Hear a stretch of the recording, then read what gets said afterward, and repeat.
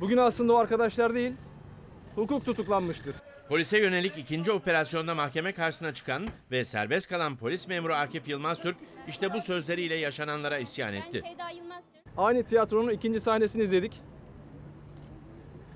Fakat her şey er ya da geç ortaya çıkacak.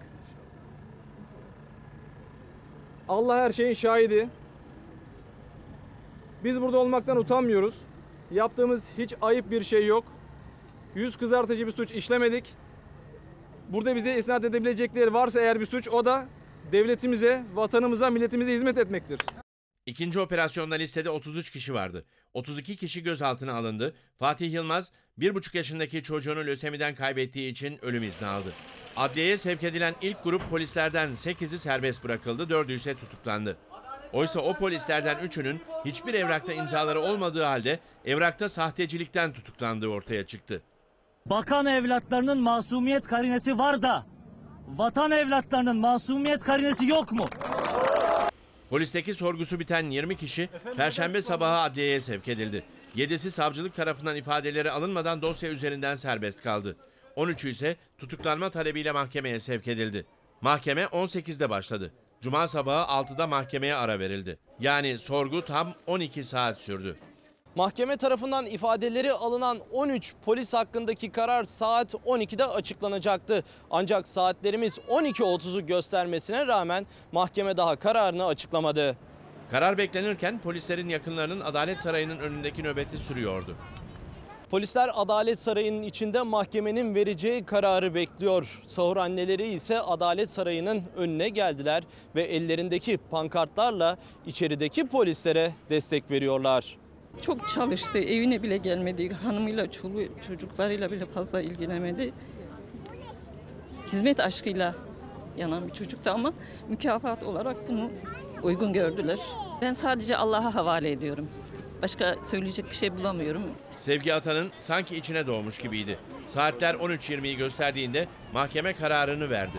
Dört polis tutuklandı. Bunların içinde Atan'ın da damadı vardı. Tutuklanma gerekçeleri ise özel hayatın gizliliğinin ihlaliydi. Serbest kalan 9 polis ise avukatlarıyla birlikte kameraların karşısına geçti. Yapılan tüm işlemler hukuksuzdur. Hesap veremeyeceğimiz hiçbir şey yok. Çalıştığımız dönem içerisinde yaptığımız her şey hukuka uygun, mevzuata uygun. Kimseyi mahcup edecek hiçbir şey yapmadık. Mahkeme tarafından serbest bırakılan Akif Yılmaz Türk, Başbakan Erdoğan'a yapılması planlanan suikastı önleyen ekipteydi. Yılmaz Türk ve eşi yaşadıklarına tepki gösterdi. Biz haksız karşısında zirve olmaktansa hakikaten haklının yanında zerre olmayı tercih edenlerdeniz. Biz vatan uğruna başımızı vermek için hazırız. Bundan kimsenin tereddütü olmasın. Bu tip hareketlerle kimse bizi sindiremeyecek. Avukatlarsa tutuklanmaların hukuksuz olduğunu vurguladı.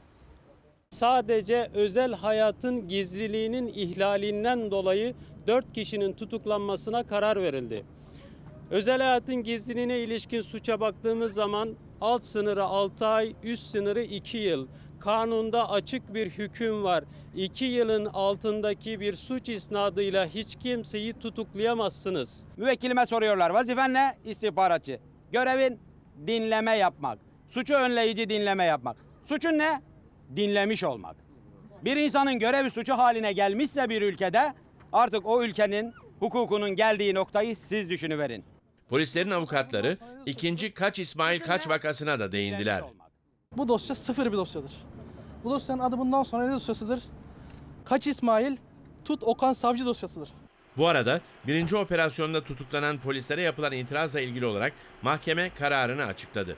Üst mahkeme sıfatıyla itirazı değerlendiren ikinci sulh ceza hakimi Hulusi Pur, eski istihbarat müdürleri Ali Fuat Yılmazer ve Erol Demirhan'ın da aralarında bulunduğu 20 tutuklu polisin tutukluluk haline yapılan itirazı reddetti.